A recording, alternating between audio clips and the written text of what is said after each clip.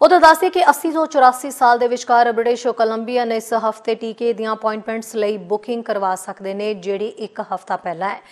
1500 ਲੋਕ ਇਸ ਉਮਰ ਸਮੂਹ ਦੇ ਵਿੱਚ ਨੇ। ਇਸ ਉਮਰ ਸਮੂਹ ਦੇ ਲੋਕ ਜਿਹੜੇ ਟੀਕੇ ਦੇ ਲਈ ਅਪਾਇੰਟਮੈਂਟਸ ਚਾਹੁੰਦੇ ਨੇ, ਉਹ ਟੈਲਸ ਕਾਲ ਸੈਂਟਰ ਜਾ ਸਕਦੇ ਨੇ। ਫੋਨਾਂ ਨੂੰ ਜਾਮ ਕਰਨ ਤੋਂ ਗੁਰੇਜ਼ ਕਰੋ, ਇਹ ਅਪੀਲ ਬਾਰ-ਬਾਰ ਕੀਤੀ ਜਾ ਰਹੀ ਹੈ। ਬੁਕਿੰਗ ਰੁਕ ਜਾਵੇਗੀ ਕਾਲ ਜ਼ਿਆਦਾ ਕਰਨ ਦੇ ਨਾਲ, ਕਿਉਂਕਿ ਸਭ ਤੋਂ ਪਹਿਲਾਂ ਤਰਜੀਹ ਸਿਰਫ ਯੋਗ ਵਿਅਕਤੀਆਂ ਨੂੰ ਹੀ ਦਿੱਤੀ ਜਾਏਗੀ। ਐਨਾ ਹੀ ਨਹੀਂ, ਸੂਬੇ ਦੇ ਵੱਲੋਂ ਇਹ ਅਪੀਲ ਕੀਤੀ ਜਾ ਰਹੀ ਹੈ ਕਿ ਇੱਕ ਯੋਗ ਵਿਅਕਤੀ ਦੀ ਬੁਕਿੰਗ ਦੇ ਲਈ ਇੱਕ ਵਿਅਕਤੀ ਹੀ ਫੋਨ ਕਾਲ ਕਰੇ।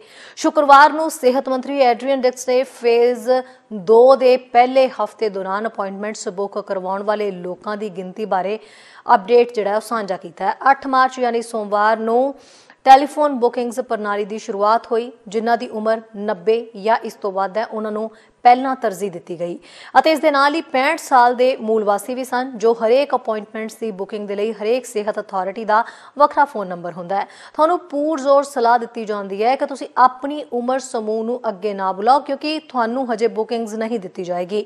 ਜੋ ਲੋਕ ਫਰੇਜ਼ਰ ਹੈਲਥ ਅਥਾਰਟੀ ਦੇ ਵਿੱਚ ਰਹਿੰਦੇ ਨੇ, ਉਹਨਾਂ ਦੇ ਕੋਲ ਆਨਲਾਈਨ ਬੁੱਕ ਕਰਨ ਦਾ ਵਿਕਲਪ ਹੁੰਦਾ ਹੈ। ਤੁਸੀਂ ਆਪਣੇ ਆਪ ਨੂੰ ਕਾਲ ਕਰ ਸਕਦੇ ਹੋ ਜਾਂ ਤੁਹਾਡੀ ਤਰਫੋਂ ਕਿਸੇ ਨੂੰ ਫੋਨ ਕਰ ਸਕਦੇ ਹੋ। ਜੇ ਤੁਹਾਡੇ ਕੋਲ ਸਿਹਤ ਸੰਬੰਧੀ ਸਵਾਲ ਹੈ ਤਾਂ ਤੁਸੀਂ 811 ਤੇ ਕਾਲ ਕਰ ਸਕਦੇ ਹੋ।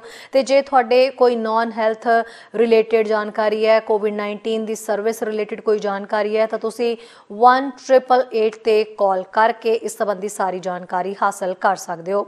ਸੋ ਉਮਰ ਵਰਗ ਦੇ ਹਿਸਾਬ ਦੇ ਨਾਲ ਹੀ ਹੈ ਜਿਹੜੀ ਵੈਕਸੀਨ ਮਿਲੇ, ਮਿਲੇਗੀ ਅਤੇ ਬਾਰ-ਬਾਰ ਇਹੀ ਤਾਕੀਦ ਕੀਤੀ ਜਾ ਰਹੀ ਹੈ ਕਿ ਇਸ ਹਫ਼ਤੇ 80 ਤੋਂ 84 ਸਾਲ ਦੇ ਜਿਹੜੇ ਬਜ਼ੁਰਗ ਨੇ, ਉਹਨਾਂ ਨੂੰ ਹੀ ਤਰਜੀਹ ਦਿੱਤੀ ਜਾਏਗੀ। ਸਾਡਾ ਹਰ ਇੱਕ ਪ੍ਰੋਗਰਾਮ ਦੇਖਣ ਤੇ ਸਾਡੇ ਨਾਲ ਜੁੜਨ ਲਈ ਸਬਸਕ੍ਰਾਈਬ ਕਰੋ। ਚੈਨਲ ਪੰਜਾਬੀ ਤੇ ਨੋਟੀਫਿਕੇਸ਼ਨ ਲਈ ਬੈਲ ਆਈਕਨ ਵਾਲੇ ਬਟਨ ਤੇ ਕਲਿੱਕ ਕਰੋ।